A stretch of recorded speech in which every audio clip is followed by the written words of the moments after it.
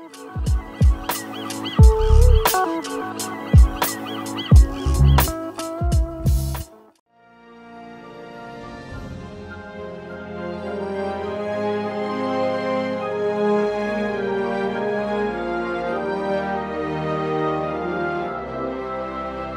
and welcome to Oz Scale Modelling. Um, today I want to have a look at a couple of products that I've bought that I use, mainly because of how good they are and how good value for money they are. Now, I'm not getting any credit for this or, or any, not getting paid for this. This is nothing, there's no commission, there's nothing for this. I'm just stating a couple of products I use that I recommend, my personal opinion, anybody into modeling should try. Because if you don't know this brand exists, you need to. okay, so the brand is called Dispay. Now, I'm assuming it's pronounced that way. It's it's spelled D-S-P-I-A-E. It's Chinese. Well, that isn't. I'm sure that's not how it's said in China. That's probably how it's translated from Chinese. I don't know. But anyway, Dispay is what I'm going to call them. Now, you may have seen in my videos recently, I've been using uh, this new mat. Now, this is one of their new mats. Well, it's one of their mats. This is an A2 one. And this replaces my standard old green one, which is still in good condition. No problem. I still use that. Um, but when I saw this and I saw the price and I looked at the details, I thought I've got to have this. And we'll just have a quick look because it's got the markings here for A4 is here, A3 comes to here, and then it goes out bigger than my camera view at the moment because I've a bit zoomed in. But if you turn it over, like on the side here, we can do this, we can move this across. So on the side here, we've got uh, the different sizes and it goes along here, measurements, and uh, looks like inches. Now, if we turn the mat over here, now we have all of this. And in here, bring it back this way, Look at that. So you've got all your different diameters, circles there, there's triangles there. You've got all your measurements in millimeters along the bottom. Just take this up a bit higher, be able to see. So look at that. You've got cutting angles. There we go. Up higher. There we go. So look at that. You've got cutting angle. You've got all this stuff. There's diameters here going across. Everything you could possibly need on that side of it. And of course, my main working side is the darker one. This. Now, it does the, same as all the good quality ones. They have the self-healing property. So if you you cut this, uh, it heals up. There's no mark. You, you literally can't see where you cut. If you come back an hour later and look, you won't be able to see where that mark was. There's nothing to show that it was ever cut. Let me just adjust the camera back to the way it was. So yeah, these cutting mats are only $20. Now that's $20 Australian. Um, geez, if you're in the US, you could probably nearly halve that. Probably about 14 US. British pounds wouldn't have a clue. You have to look that up. now, also with this, these products, I use these. Now, these are sanding sponge sets. Now, wait you hear the price of these. so, these come in a little container like this. You can buy different grades of grit for sanding. These ones are start at 1000 you got 1200 1500 2000 2500 you can get down from 600 800 even less 400 uh, smaller ones. Now they come up they come in these little container here that you can open up. And you can take out your pieces. And there it is. And they're completely flexible like this. You can cut pieces off and make them smaller if you want. Um, and they're fantastic. And then if you run out you can refill by ordering them separately to refill. But because these are so cheap this whole set in the box with with and I'll have a look how many do we have? We've got one two three four. There's actually quite a lot in here. Uh one two three four five. There's six in here and something I didn't realize because I've been using these for a week now is that they get thinner as they got thinner ones too so they get thinner as they go down they start with the thicker ones so there's two, four, six in each. So you've got six of each different grade in its individual box. That whole set is $12. You know, again, $8. Oh, yeah, maybe 8 $7 US. Again, any other currency, you'll have to look that up. $12 Australian. I mean, fantastic. Um, really good product and they work really, really well. They're really easy to use. Now, put that away side.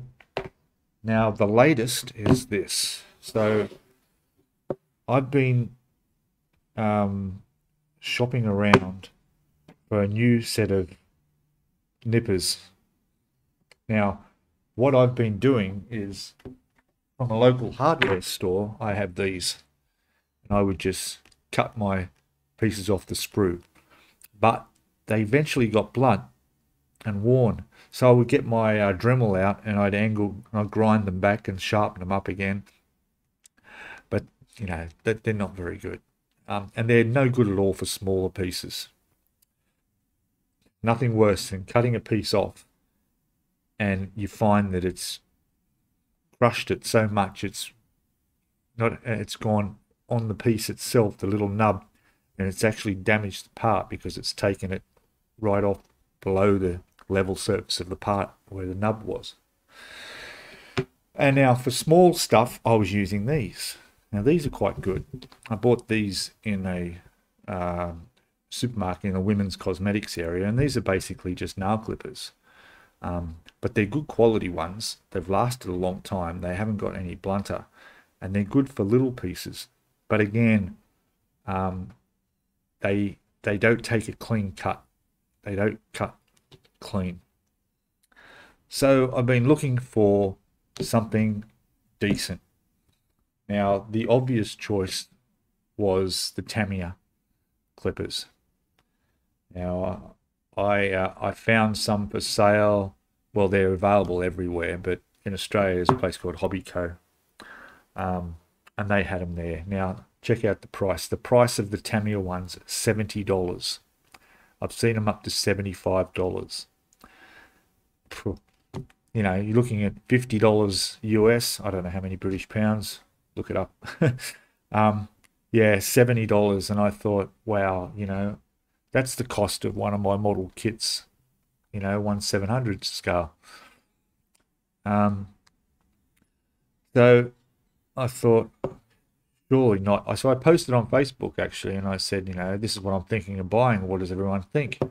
My God, the number of replies I got of people saying you're getting ripped off, you're just paying for the name. Um, there's better out there. And I thought, well, I've already bought the sanding sticks and the mat from this company. Let's have a look at what they've got. And they have these. And they look exactly like the Tamiya ones I was wanted for $70. Now, these ones weren't cheap. These were one of the more expensive of the ones they have.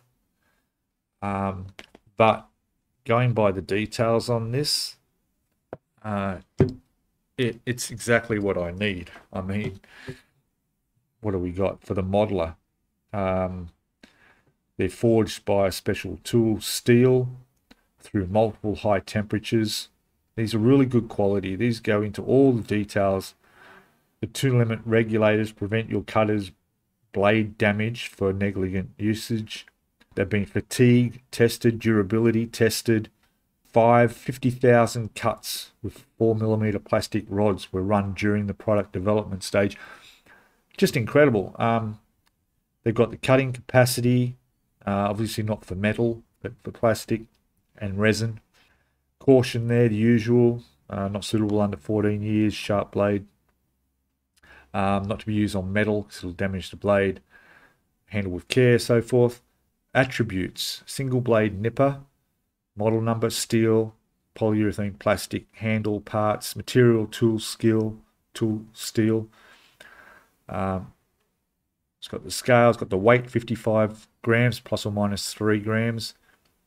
Uh, handle fit. Now, you go look at the contents of a Tamiya pair of nippers. They tell you any of this, you know, and I think people were right. You're paying for the name, you know. I mean, all right, they're, they're good quality, I'm sure, but let's see what these are like. Now, this, I think, yeah, I did mention. So this was $50. This was $50. In here, you don't just get your nippers, apparently. In here, well, let's have a look. There's, uh, we've got a, the nipper, we've got a holster, we've got a cleaning cloth, and a limit regulator. So I haven't even opened this yet, so it's about time. There's even instructions for the operation here. Very detailed on how to use them here. And then they, they've got some showing you the different angles to use them for the different results you get when you cut things off the sprue here. Okay, enough of that. Let's have a look. Open this up.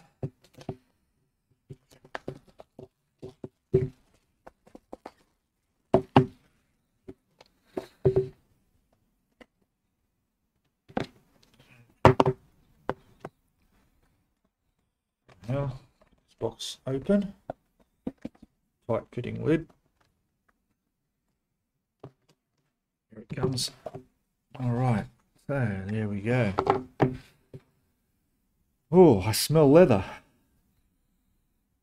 Definitely. Look at that. Very nice. Okay, so what do we got? Take that out. So this is like it's the holster. Not that you'd wear it on your belt, but that's just to keep them protected. And I'm pretty sure yeah, that smells like leather. That's that's nice. So that that's that's good. And here we go. Here they are. So there's a limit regulator here. You can adjust the blade gap by using the limit regulator. So in here is what they're talking about. And that's what that is, a little tool there saying please put the on the protective cover after use to prevent axial damage to the cutting edge. So that's our little holster. Single blade nipper. Nipper uses single blade design with, with better cutting capacity. It's greatly improved the working efficiency for model makers. Okay, let's take them out. And there we go. Look at that. So they're flat as you can see. We'll have a close look at these. There we go, you can see how they are shaped. And they're very light handle. I mean, takes no effort at all to open and close these.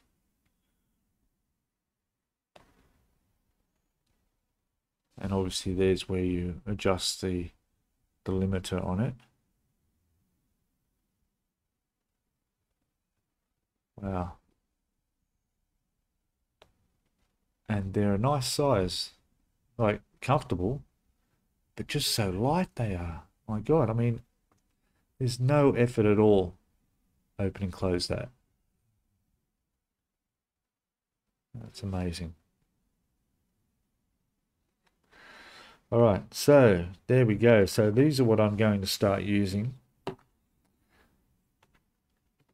and uh, hopefully that's going to up my game a little bit, um, particularly when it comes to having to get in there and file bits of pieces that you know that have left the nubs on the model because of these old ones that I've been using.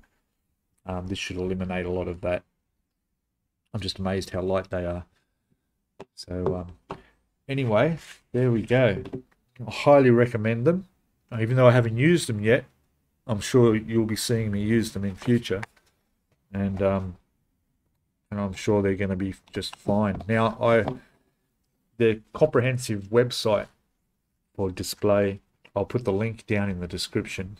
It's worth going to have a look at. Um, it's easy to see where everything is. You can see all their products.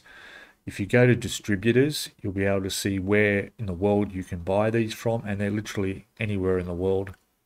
Uh, if you're in Australia, um, has, when I did a search on their website, it came up with 147 products from this brand. So they've got complete range of all their stuff. I mean, these guys have everything from photo etch, bending, to scribing tools, to everything you can imagine, some things you wouldn't even, even know existed. And really good prices, really good prices.